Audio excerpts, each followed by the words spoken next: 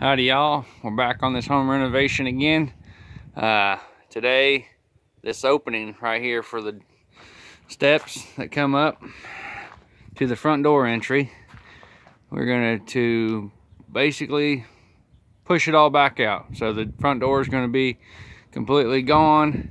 That wall is gonna come to where this post is. Of course, this post isn't gonna be there. It's gonna be framed in as a normal wall have all new siding put on so it'll all be one solid corner so the day we're going to knock out these steps take out the slab see what it's going to take to form up another foundation because i imagine it's just limestone and dirt underneath it so we're going to tie into that existing block remove some of these porch railing or boards so we can figure out how we're going to tie in the blocks there we got plenty of cinder blocks under there all these stinking cinder blocks came out from underneath that fireplace can you believe it there's a whole ton of them. That's not even half of them because there's still more of them under the dead gum thing.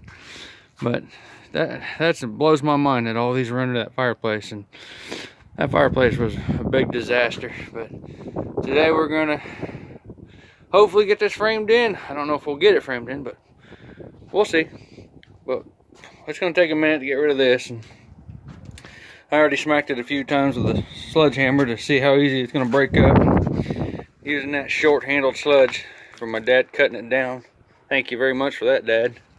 But we're gonna be tearing all this siding off. As you can see, it's blowed out, bubbled out. It's in pretty rough shape. So all this siding is gonna be removed. I think we're taking out that window. We're just gonna sheet over it.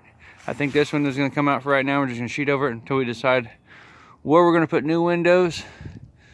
But uh, yeah, we'll see how far we can get today on knocking this out and I'll put another update on it. Thanks for watching.